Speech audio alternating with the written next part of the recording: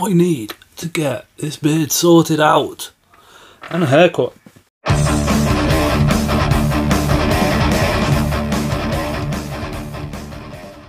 Hi and welcome to Scott's Inverts. I'm Scott. These are the inverts. Tapientus gigas, the orange tree spider, X Tapientus giga.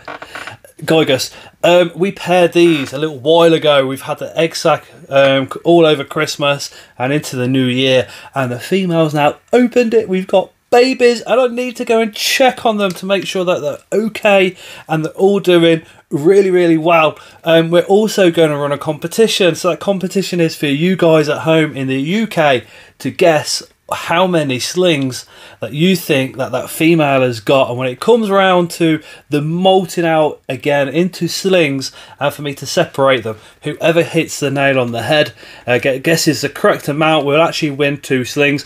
Do not worry if there's three or four of you all th- all of you guys that correctly get the correct answer will receive two slings but it's only open that that is only open to people inside of the UK and this is down just at the postage.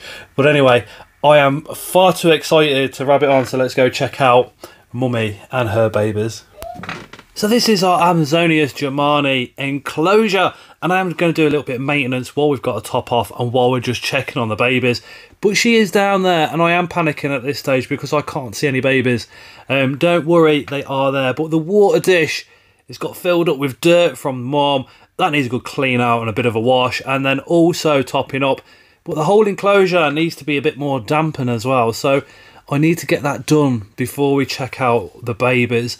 So, kaboom! There's a water dish full of beautiful water for our spider, as well as the moss and the substrate being now all slightly moist. Um, but down that hole is where mummy is and where those babies are. So what we're going to do is see if mum would like some food first of all, because those babies are down there and they're completely fine. So does she take it? Does she not? oh, look at her comes running out, takes that roach. Her babies are right down the bottom, and she's got no intention of going anywhere near them with that food. uh, you deserve that. You really, really do. You beautiful girl. Uh, look, tiny bit of venom on the fangs, a little bit of ven- uh, fang action there as well. Oh my god, she is absolutely enjoying that roach. Um, but yeah, we're gonna check now and have a look downstairs um, to see what babies are down there um, and what's going on. So here they are, look. Just look. I've never experienced viewing spiders, babies like this, when they're this small with their mom. One more molt and they will actually be slings. But just look absolutely beautiful. I am just. it's not very often I say this, as you probably know how much I waffle, but I am lost for words. Oh my god. And if you look where my finger is, that's mum's leg. So the mum has actually still got her her paw on her babies making sure they're all safe and sound. Now, the outside the inside of this enclosure is actually all webbed up, so I am having difficulties trying to pick the spiders up through the web.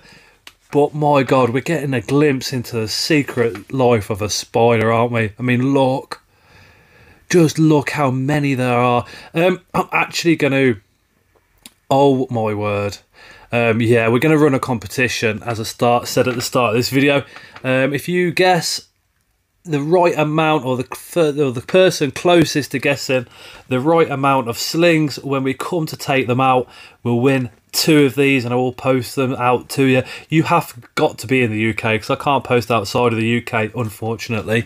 Um, but yeah, if you comment down below with the number of slings that you think is in this clutch um, and whoever is either on point or the closest to will win two of the babies but just, oh my word, I am just. I, I mean, that's with the flash. I mean, it's it's awful photography. I do apologise, but it it is literally the best I can do, given that I've got to try and film through all that webbing. Oh my word, another little tunnel, but look how many they are. Um, there is a couple of those. I think there's two layers of um, of slings there as well.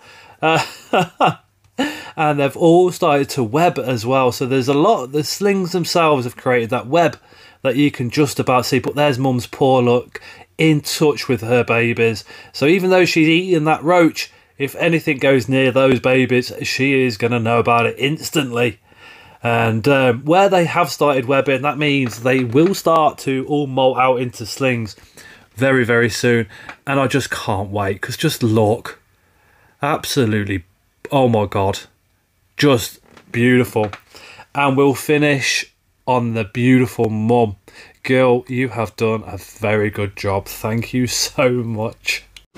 Boom! My god, if those babies aren't worth dropping a like on this video, I don't know what is. Um, and if you could possibly share this video out as well, that would be absolutely fantastic. I am still absolutely buzzing about this breeding project. Um, we've had egg sacs before and all the rest of it, but I've never deliberately left the egg sac with mum and kind of watched this stage. What happened with the Psalmopoeus irminia in previous is that I didn't actually know she'd had the egg sac, so I thought she'd molted out and that was the end of it. So we carried on feeding and all the rest of it, and she actually had the egg sac, and then the slings appeared literally as slings. Um, so I am still really, really excited. Anyway, guys, thank you so much for watching. Really, really do appreciate each and every single one of you. And as always, we shall see you again on the next one.